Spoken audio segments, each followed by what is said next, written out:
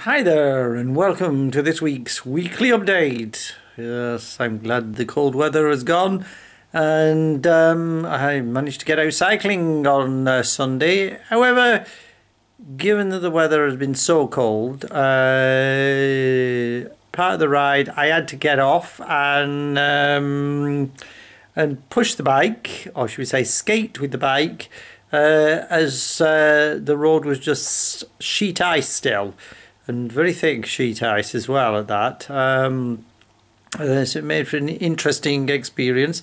Luckily, there wasn't um, too much of it that I had to go across, uh, and then I hit tarmac uh, and uh, was able to continue my cycle. Uh, but boy, was it cold uh, still. but it wasn't as cold as it has been. Um, however, this next weekend it might be short uh, weather, if you believe the weather forecast, and it's supposed to be 17 degrees.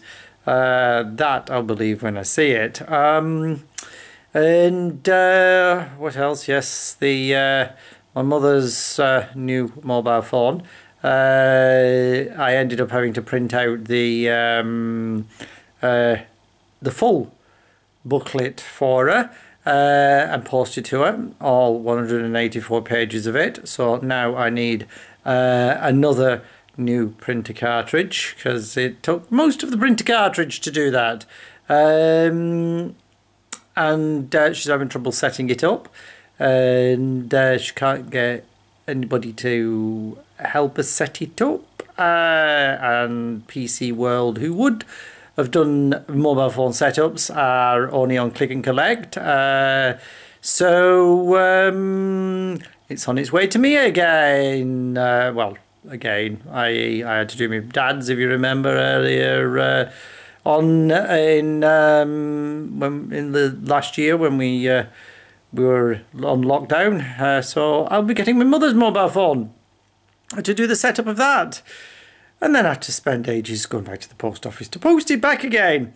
I'll have to remember what the model is this time. It was when they asked me last time, I couldn't remember. Uh, and um, stood there doing the goldfish impression. Uh, the, but this time I better write it down on a bit of paper, otherwise uh, I'll get it. I'll get it confused, and then they won't be taking it. So um, it's winging its way to me. Uh, so I will be having to do the setup there and then. I hope uh, that the SIM card uh, fits. Uh, otherwise, uh, I'll be having to get one of those implements to cut the SIM card down. Um, because I don't think it's one. I don't think the SIM card is one of those that you could sort of like still press out a little bit, because it's a nano SIM that this new phone takes, and I'm not sure whether the the old phone was a nano SIM or it was a sort of medium SIM or whatever the next one up in SIM size is called.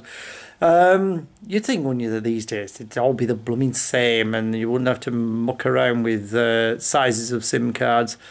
Uh, it's like everything, non standard. Um, and uh, it's like plug sockets, isn't it? You know, wherever you go in the world, they all seem to be different, uh, and you never have brought the right adapter.